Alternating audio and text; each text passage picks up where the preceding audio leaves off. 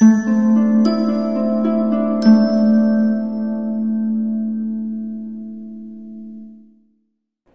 घाट स्थित श्यामपुरी पाँव धोई नदी के घाट से हटवाया गया 50 साल पुराना अतिक्रमण।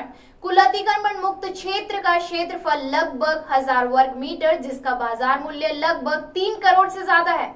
अतिक्रमण हटाते समय अतिक्रमण अधिकारी दानिश नकवी प्रसाद भूरा सिंह, प्रजापति आदि लोग शामिल रहे। आइए आपको दिखाते क्या बोले बी एस नेगी।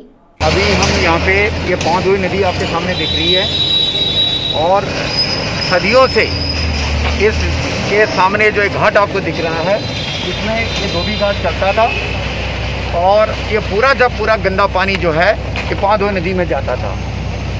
कुछ दिनों पूर्वी यहाँ पे हमारे माननीय मेयर साहब संजीव भालिया साहब यहाँ आए थे और अपने नगर नायक साहब भी आए थे और उन्होंने एक अभियान चलाया था यहाँ पे कि पौधोई नदी की सफ़ाई का अभियान चलाया था, जो हमारा निरंतर नगर निगम चला रहा है। आप देख सकते हैं कि ये जो सामने दिख रहा है, ये धोबियों का दुकान था इसमें पूरी गंदगी धोने वाले के बाद में ये पूरा का पूरा जो है, ये पाँधोई नदी के अंदर में चले जाता था।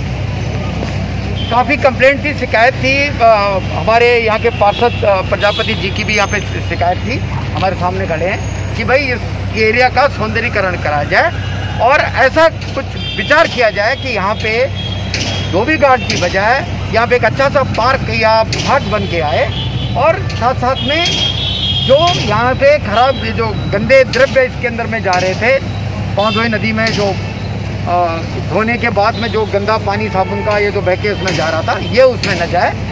तो इसके लिए आज हमारा जो है, श्यामपुरी जो ये एरिया में आता है, यहाँ पे हमने धोबी घाट का जो है, जो भी इसमें लगा हुआ था, उनको दो तीन दिन पहले हमने सूचना दे दी थी कि यहाँ पे जो है अभी जेसीबी चलेगा और इसके बाद यहाँ पे किसी भी प्रकार का धोबी से संबंधित, गंदगी से संबंधित कोई भी कार्यक्रम यहाँ पे नहीं होगा।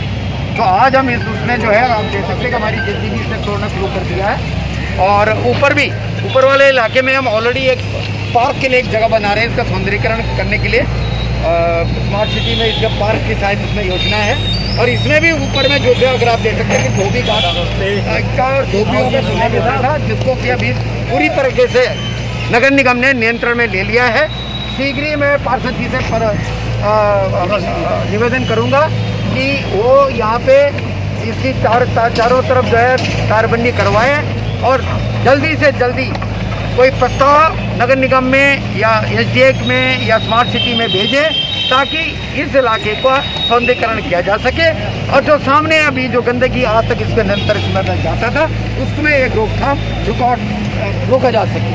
इसके साथ ही मैं आप सबको धन्यवाद देता हूँ। पार्षद जी को धन्यवाद देता हूँ। हमारे साथ में थे। पूरी जनता यहाँ पे पार्षद जी के साथ में पूरे सब लोगों ने यहाँ पे पूरा हमारा सहयोग दिया है।